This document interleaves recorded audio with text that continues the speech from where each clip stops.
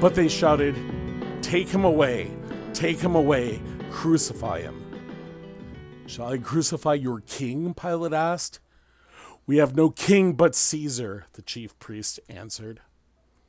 As we draw near to Lent, my mind goes back to the part of Holy Week I didn't understand for most of my life the choice of the crowd to release Barabbas instead of Jesus. I was taught that the Jews chose to release a murderer instead of Jesus. If that actually happened, and we can argue biblical scholarship another day, describing it this way makes no sense. Why would you release a murderer at all, let alone instead of Jesus, for Christ's sake? it wasn't until later, until I learned there was not just one, but many people who claimed to be the Jewish Messiah.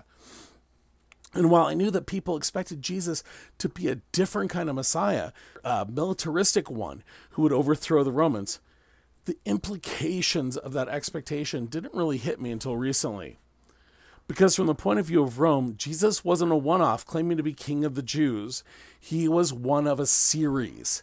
He was just the latest leader of the latest rebellion. To Pilate in Rome, Jesus would be viewed the same as an American today would view a leader of the Islamic State or Al Qaeda. Put yourself in the situation of the crowd that day. Your ruler stands above you. Loyal and armed guards and police are on every side. Their hands hover near their weapons, waiting for an excuse to arrest you and your family, or worse. And then your ruler says to you, Do you want me to release Charles Manson or, and he looks pointedly at the guards and police surrounding you, the Al Qaeda agent? It doesn't matter to them that you know the supposed Al Qaeda agent is not a terrorist. That's a case of mistaken identity. They got the wrong guy but they decided who he was and whether or not he was guilty before any trial actually started. Your rulers already intimidated those who have disagreed with them. They've already punished those who just disagreed with them. You could have the courage to do the right thing, to release the innocent man and run the very real risk that you'll be seen as a sympathizer.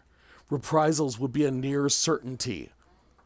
Or you could do the easy thing, releasing the criminal instead. It's a hard choice. It's a choice between doing what is right and doing what is easy. A choice between what in, doing what is right and doing what is safe.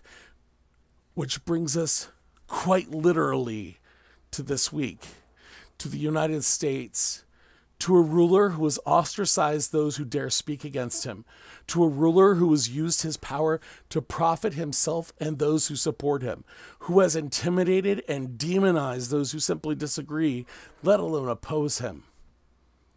It's already too late to do things the proper way. They threw that chance away last week when they decided to not hold witnesses or have new evidence.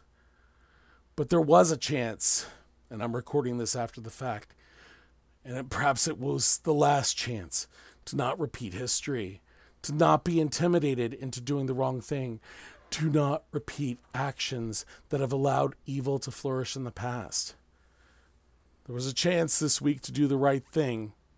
There was a chance for the people, the people who are supposedly acting on our behalf, to do the right thing.